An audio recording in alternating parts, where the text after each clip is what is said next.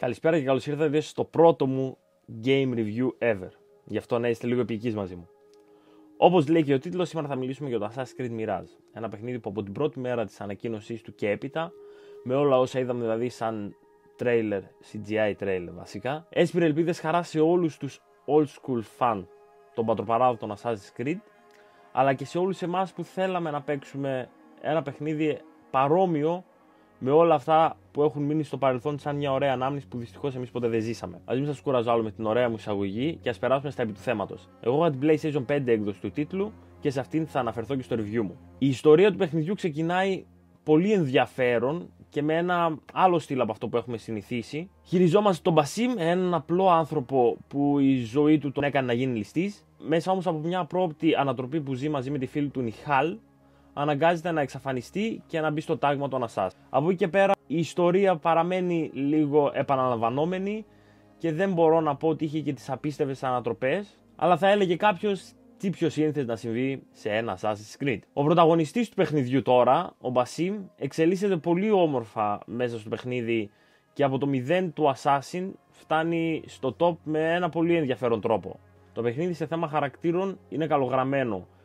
Κάτι που δεν προκαλεί κάποια έκπληξη, καθώς έτσι έχουμε συνηθίσει και τα Assassin's Creed. Υπάρχουν αρκετοί NPCs που γνωρίζεις και συναντάς κατά τη διάρκεια της περιπέτειάς σου μέσα στον κόσμο της Βαγδάτης, και αν και δεν αλλάζουν κάπως το σκηνικό του παιχνιδιού, παραμένουν ενδιαφέρον. Από την άλλη, η προσπάθεια της Ubisoft να παντρέψει τον παλιό stealth μηχανισμό με χαρακτηριστικά τον καινούριο Assassin's Creed ήταν κάπως επίφοβη στην αρχή, αλλά τελικά το στοίχημα που έβαλε το κέρδισε και πήγε ταμείο και όπως όλα δείχνουν και οι πωλήσει του τίτλους. Όλα καλά μέχρι εδώ, αλλά τα προβλήματα ξεκινάνε σχετικά γρήγορα καθώς μετά τον πρώτο ενθουσιασμό που φεύγει στις πρώτες ώρες αρχίζεις και καταλαβαίνεις ότι κάτι δεν πάει καλά. Λίγο σκαλώνει σε κάτι σακιά, λίγο δεν μπορεί να μπει από κάτι παράθυρα, λίγο που πατάς 3-4 φορές το χ για να πηδήξει να πιαστεί από κάπου αλλού. Ε, φτάνει σε ένα σημείο λίγο που σε κουράζει και εκεί είναι που μας το χαλάει. Ένα από τα βασικά χαρακτηριστικά του παιχνιδιού, το parkour, αντιμετωπίζει προβληματάκι. Προβληματάκια. Και όπως είπα και πριν, στην αρχή, λόγω της ανυπομονησίας να παίξει όλο αυτό το πανέμορφο παιχνίδι που έχεις δει από τα τρέιλερ, από τα CGI τρέιλερ, κάπως θα παραβλέπεις λίγο τα προβληματάκια του, αλλά περνώντας αρκετές ώρες στο παιχνίδι, πλέον έχεις καταλάβει ότι κάτι δεν πάει καλά. Και αυτό το κάτι χρειάζεται οπωσδήποτε δουλειά. Όσον αφορά τώρα το combat system, είναι από καλύτερα Udai.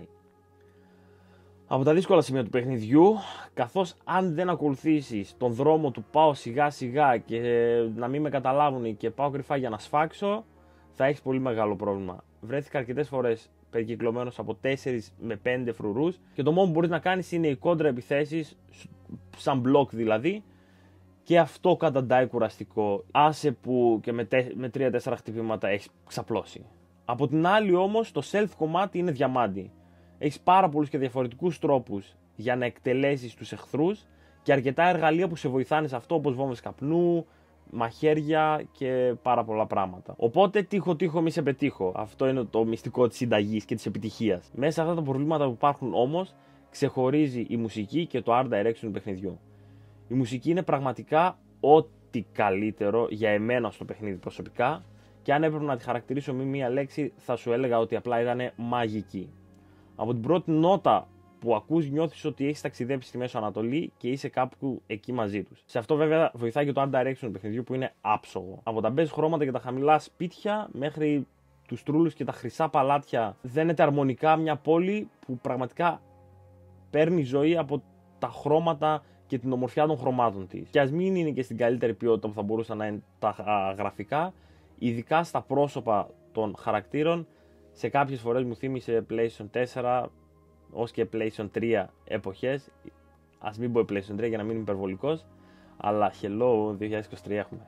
Τέλος πάντων. Στο θέμα του χάρτη και γενικώς του κόσμου έχει γίνει πάρα πολύ καλή δουλειά. Οι πόλεις είναι γεμάτες, ασφικτικά γεμάτες θα έλεγα και με πάρα πολλές πληροφορίες για την τότε εποχή της Βαγδάτης που μπορείς να λαμβάνεις μέσα από ενός νέου μηχανισμού. Για κλείσιμο, θέλω να πω ότι σε γενικές γραμμές είναι ένα ενδιαφέρον παιχνίδι με μια καλή ιστορία που διαρκεί κοντά στις 20 ώρες.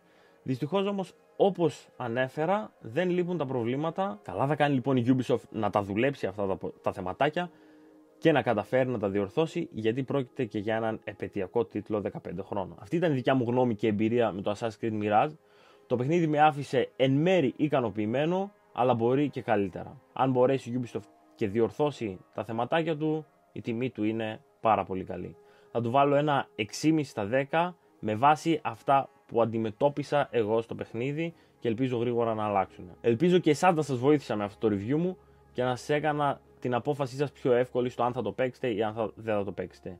Μην ξεχάσεις να κάνεις subscribe στο κανάλι, άσε ένα like στο βίντεο και γράψε μου στα σχόλια εσένα πώς σου φάνηκε το παιχνίδι αν το έπαιξες ή πες μου αν δεν το έπαιξες, αν σε βοήθησα με το review μου αυτό. Αυτά από μένα, να είστε όλοι καλά, μέχρι την επόμενη φορά, ο Φίντα